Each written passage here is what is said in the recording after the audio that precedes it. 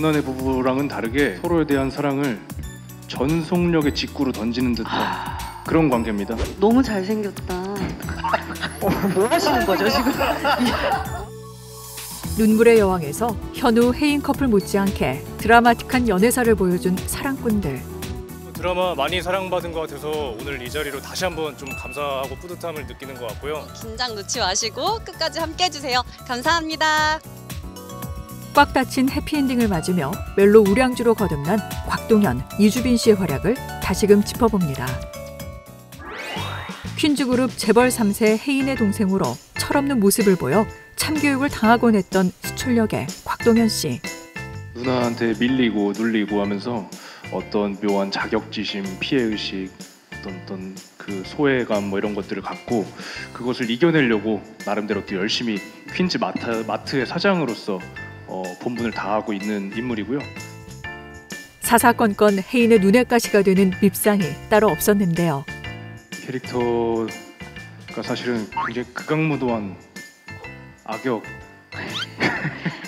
공식 속상입니다. 네 죄송합니다. 예. 과도 같은 어떤 갈등들을 많이 유발합니다. 정말 다양한 인물들과 다양한 관계를 만들어내는 것 같아요. 그러면서 그 관계들에서 어떤 사건이 시작되고 어떤 사건이 또 해결되기도 하고 그런 어떤 수철이라는 인물이 시작점에서부터 끝까지 도달했을 때 어떤 변화와 어떤 성장을 이룩하는지를 좀 어, 지켜봐 주시면 너무 좋을 것 같습니다. 기센 누나에게 짓눌려 살다 보니 그의 이상형은 한결같았죠. 누나와는 정말 다른 사람을 만나고 싶다 그런 사람과 살고 싶다는 일념하에 운명처럼 다혜를 만나서 또 제 아들이 있습니다 한 살짜리 건우 우리 건우 우리 가족을 어, 정말 내 방식대로 따뜻하게 사랑하면서 살고 싶다는 어, 그런 어, 소박한 꿈을 갖고 있는 그런 친구입니다. 운명처럼 만난 여자 다혜 역의 이주빈 씨는 극초반 조신한 모습으로 등장. 결혼한 것도 모자라 아이까지 있는 며느리를 연기했는데요. 애기 엄마 역할을 처음 해봐요. 애기가 있기 때문에 어, 그 엄마라는 감정을 어떻게 가져가야 할까 이런 것도 많이 고민을 했었고 또 다혜가 순진한 얼굴 뒤 야욕을 숨기고 의도적으로 접근했던 사실을 알았지만 수철의 마음은 일편단심이었습니다. 주빈 배우님이 성격이 너무 좋으시고 저는 리더십의 여왕이라고 예, 좀 예, 별명을 만들어 드리고 싶어요. 말로 하지 않으셔도 이렇게 다 받아줄 것 같은 어떤 포용력과 따뜻함과 어떤 그 리더십, 솔직함 이런 것들이 아, 정말 든든하게 느껴졌고 뭔가 이렇게 막히거나 뭔가 정신적으로 어 이거 어떻게 해야 되지라고 했을 때 어 나도 잘 모르겠네라는 대답이 아니라 같이 항상 들어주면서 같이 고민해주면서 그 씬을 끝까지 같이 이렇게 해줬던 것 같아요. 그래서 너무 고마웠고 이번 드라마로 순도 100% 멜로 눈빛을 쏟아내며 극의 공기를 바꿨던 곽동현 씨. 배우가 천직인가 싶지만 원래는 밴드를 꿈꾸던 가수 연습생이었는데요. 가수 연습생 시절에 좀 많이 힘들었어요. 어떤 그 반복되는 일상이나 좀 이렇게 압박감, 답답함 이런 것들이 좀 가장 심하던 시기에 우연히 이제 연기를 시작하게 됐는데 그 연기를 하는 작업이 주는 저한테 그 어떤 자유로움이나 어떤 그 소통할 수 있는 기회 이런 것들이 너무 저한테 큰 해방감이고 위로였어서 그때부터 연기에 대한 애정과 관심이 더 이렇게 생기기 시작했던 것 같아요.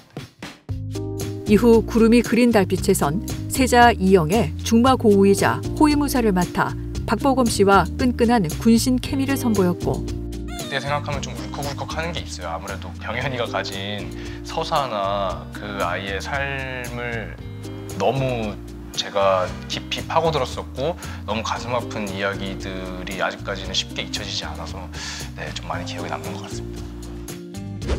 그 이후 빈센조에선 강렬한 악역 연기를 가우스 전자에선 코믹과 로맨스를 넘나들며 한계 없는 연기력을 보여줬죠. 좀 몸 쓰는 걸 좀 좋아하고 또 자신이 있는 부분이기도 해서요. 네, 막 뛰고 막 넘어지고 구르고 맞고 때리고 그런 장면들이 주는 어떤 다이나믹함을 좀 좋아하는 편이어서 네, 기회가 된다면 꼭 빠른 시일 내에 도전하고 싶습니다. 꾸준히 그리고 성실하게 연기적인 성장을 이뤄가고 있는 곽동현 씨. 곽동현이 나오면 어 일단 저 작품 봐, 봐도 괜찮겠다 재밌겠다라고 기대 심리를 줄 수 있는 그런 배우가 되고 싶고 늦지 않게 꼭 빠른 시일 내에 좋은 작품 또 매력적인 캐릭터 좋은 연기로 돌아오도록 하겠습니다 그때까지 잠깐만 기다려 주시고 예, 또 돌아오게 되면 많은 환영과 응원 사랑 부탁드리겠습니다 한편 최근 범죄도시 four로 스크린 데뷔에 나선 이주빈 씨는 눈물의 여왕의 흥행과 함께 겹경사를 맞았는데요. 범죄도시 four가 개봉 일주일 만에 500만 관객을 돌파한 것.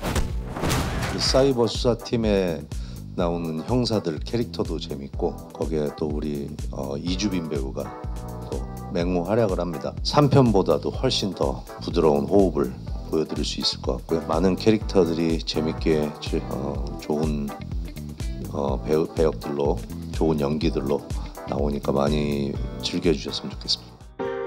2017년 드라마 귓속말로 연기를 처음 시작한 후 최고 흥행을 맛본 그녀는 배우를 꿈꿨지만 가수 연습생으로 20대를 보냈는데요. 아이돌을 하기엔 스스로 나이가 많다고 생각해 29살 무렵에서야 뒤늦게 연기를 시작. 부족한 경험을 채우기 위해 부단히 노력했습니다.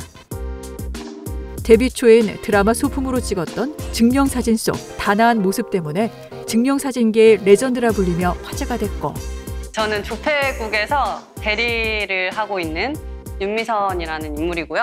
국장님과 불륜을 저지르는 역할인데요. 종이의 집 공동경제구역에선 생사의 갈림길에 놓인 인질부터 상황에 따라 유연하게 변주하는 연기를 보여 몰입도를 높였죠. 지렁이도 밟으면 꿈틀한다는 말이 있잖아요. 그렇죠. 네, 미선을 연기하면서 살기 위해서는 정말 죽음 앞에서 무슨 짓이든 할 수 있다는 생각이 들었습니다. 그리고 눈물의 여왕으로 그간 탄탄하게 쌓아 올린 연기 내공을 과시했는데요. 어떻게 하면 외적으로나 분위기적으로 조금 더, 더 예뻐 보일 수 있을까 이런 생각도 했었고 출연 작품이 좋은 반응을 얻는 걸 보면서 비로소 올바른 방향으로 걸어가고 있다는 확신이 든다는 이주빈 씨. 이번 기회를 발판 삼아 두 사람 모두 브레이크 없는 직진 행보를 보여주길 바라겠습니다.